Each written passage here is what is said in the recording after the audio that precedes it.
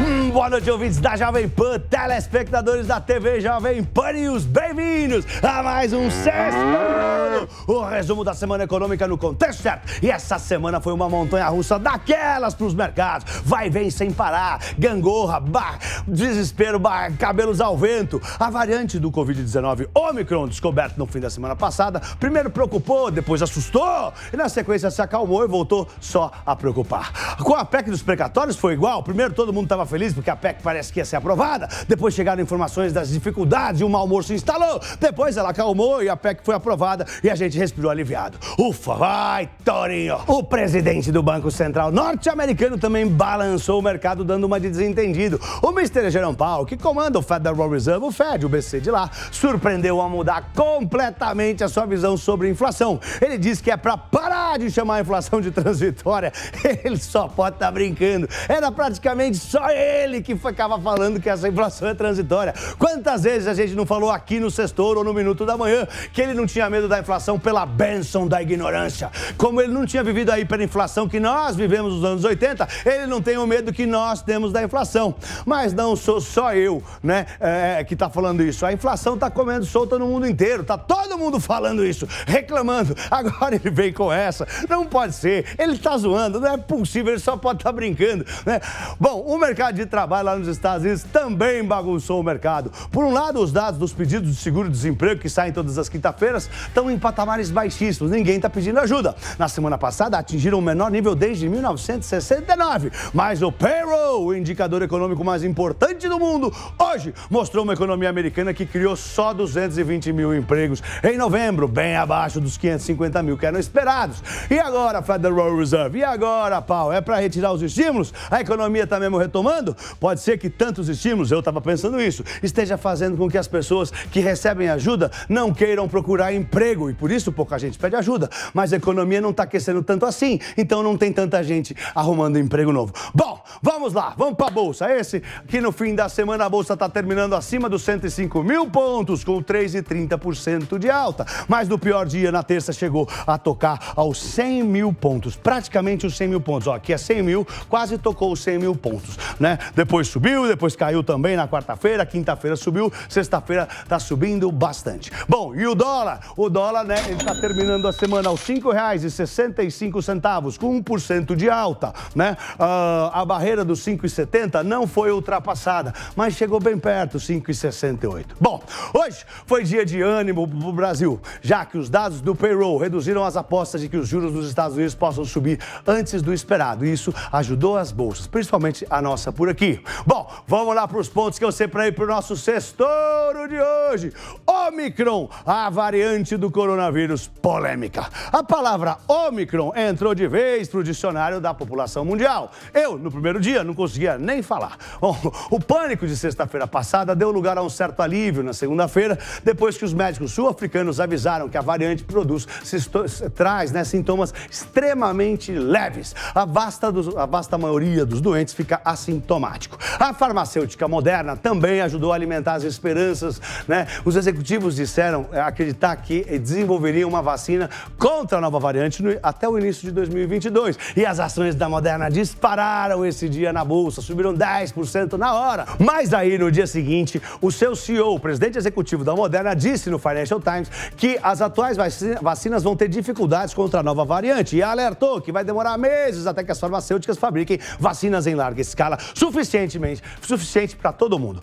Só que no dia seguinte, o CEO da BioNTech, que é parceira da Pfizer, afirmou que provavelmente a vacina deles vai oferecer forte proteção contra qualquer doença grave nova da variante Omicron do coronavírus. E as bolsas melhoraram de novo. Bom, o presidente americano Joe Biden ajudou dizendo que essa nova variante não é motivo para pânico, apenas para preocupação e negou fechar a economia na semana em que o primeiro caso, os primeiros casos foram encontrados nos Estados Unidos e aqui no Brasil. Lá na Europa o pessoal está mais nervoso dizendo que vai fechar. Aí veio JP Morgan na quinta-feira e o seu relatório otimista sobre a variante Omicron. A tese dele fez as bolsas dispararem, tá? A tese deles é que essa variante é dominante, mais contagiosa, mas com sintomas muito leves e por isso, né, com sua disseminação muito forte, deve fazer o coronavírus evoluir para uma gripe sazonal e ajudar a acabar de vez com essa pandemia que a gente não aguenta mais. Por conta disso, os estrategistas do JP JP Morgan recomendaram com força para todo mundo comprar as ações sem medo e o mundo comprou ações. Ou melhor, os americanos saíram, ah, foram aos, saíram às compras mundo afora. Na quinta-feira, no dia do relatório, o Ibovespa B3 disparou mais do que 3,5%. Segundo ponto do nosso setor de hoje, a aposentadoria da palavra transitória para inflação. Pois é, o Mr. Jerome Powell, que foi reconduzido ao cargo na semana passada, chegou chegando. Como eu disse, ele avisou que quer aposentar a designação de transitória para inflação. É um brincalhão. Era praticamente só ele que sempre defendia isso, embora a maioria do mercado duvidasse dessa visão dele de que a inflação é transitória. Além disso, ele foi curto e grosso os, e disse: os estímulos da economia americana devem acabar logo. Aquela injeção de dinheiro ele vai acabar. E menos estímulos lá, gente, significa menos dinheiro por aqui.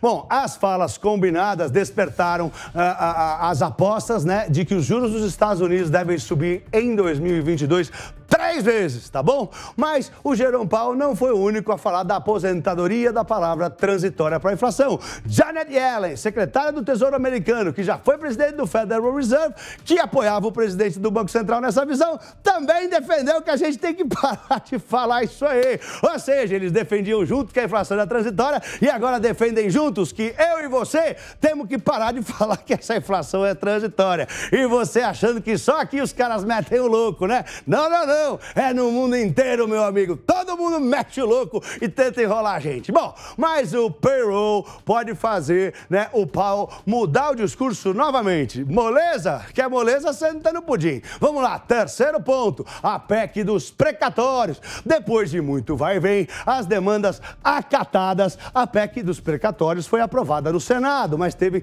de voltar para a Câmara porque sofreu várias modificações. Com as modificações, o cenário para as contas públicas públicas piorou, mas o medo de uma solução ainda pior fez o mercado se animar com a aprovação da PEC dos precatórios. Pode ser que a votação na Câmara fique para o ano que vem. Quarto ponto desse meu sextor, Twitter, o fundador saiu da liderança. Ele não é mais o comandante-chefe do Twitter. Nessa semana, o fundador do Twitter, Jack Dorsey, apresentou sua carta de renúncia de presidente executivo da rede social. Ele era o CEO e deixou um recado. As empresas nem sempre devem ser comandadas por seus fundadores. Essa é uma lição que muitos gestores têm dificuldade de aprender.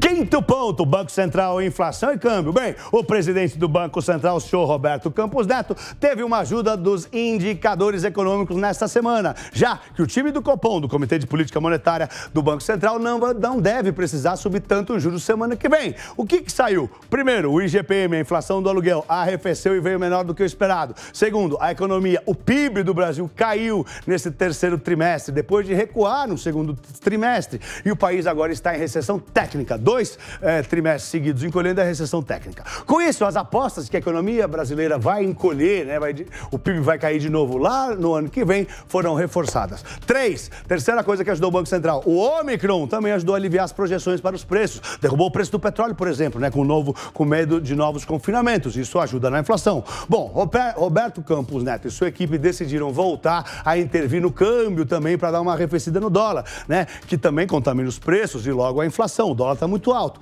Eles fizeram um leilão de linha, uma operação de venda de um bilhão de dólares para reduzir a pressão sobre o dólar neste fim de ano, que está pressionado tanto pelos bancos que precisam comprar aqueles dólares numa operação sofisticada deles lá que chama overhead e também pelas multinacionais que mandam seus lucros para fora no fim do ano. Fecha o balanço e manda para fora. Sexto ponto desse sextouro, S&P mantém a nota do Brasil. Ufa, não foi dessa da vez que o Brasil foi rebaixado. A agência de, de classificação de risco S&P manteve a nota de crédito do Brasil em BB-, com perspectiva estável. Tá? Isso, nós estamos a três degraus do grau de investimento. Estamos longe do selo de bom pagador, que é muito importante para atrair investimentos. Mas havia preocupações de que a crise fiscal pudesse levar o Brasil a mais um rebaixamento e a gente ficar a quatro passos do grau de investimento. Sétimo ponto desse sextouro. O Minuto Touro de Ouro foi premiado. O Minuto Touro de Ouro, o programa que eu apresento aqui na todas as manhãs na Jovem Pan, no Jornal da Manhã, ganhou como o melhor programa de economia do rádio brasileiro em 2021. A premiação dos, dos mais admirados da imprensa de economia, negócios e finanças, promovido pelos jornais e companhia, é muito importante e muito respeitado. É uma honra ter recebido esse prêmio. Muito obrigado. É uma felicidade. Obrigado a todos que prestigiam o meu trabalho, que confiam em mim. Obrigado a Bárbara, me abraço direito. Obrigado à Jovem Pan, que me aguenta aqui toda a equipe, todo dia, e dividiu o prêmio conosco. Somos todos ganhadores desses prêmios juntos. E é claro, obrigado ao Tutinha por ter acreditado em mim e me convidado para fazer parte desse grupo, o melhor grupo de comunicação e notícias do Brasil na atualidade. E para semana que vem, o destaque é para a reunião de juros do Brasil. Na quarta-feira, a taxa básica de juros deve subir para 9,25, subir 1,5 ponto percentual e deve acionar o gatilho da poupança. A caderneta vai passar a render 0,5% ao mês mais TR. Só que a TR atualmente está zerada, não rende nada, então vai ser só 0,5%. Mas até aqui ela rendia só 70% da Selic mais TR. Então, né, vai, vai pagar mais, mas mesmo assim a poupança ainda perde para muitas aplicações. Também vão sair vários dados de inflação por aqui, como IGPM, PCA, entre outros. Nos Estados Unidos, dados de inflação também vão estar no radar. Lá, a gente também vai ter o IPO do Nubank e vai ter aqui a listagem de seus BDRs da nossa querida B3 na quinta-feira. E se você se interessa pelos indicadores econômicos que a gente fala aqui no fechamento, como eles pressionam as marés dos mercados, como mexem na bolsa, no dólar e nos juros, acesse a newcursos.com.br e invista no melhor curso de indicadores econômicos do Brasil, o curso Toro de Ouro. Use o voucher de desconto Sextouro na newcursos.com.br e compre o curso Toro de Ouro em 12 vezes de menos de 75 reais, sem juros. E se você quiser me seguir nas minhas redes sociais, o meu arroba é arroba Pablo Spire, arroba Pablo S-P-Y-E-R. Bom, gente, é isso aí. Eu espero que vocês tenham tido uma semana próspera. Eu sou Pablo. Tenha um lindo fim de semana em família. Vai, Torinho! Vai, Torinho!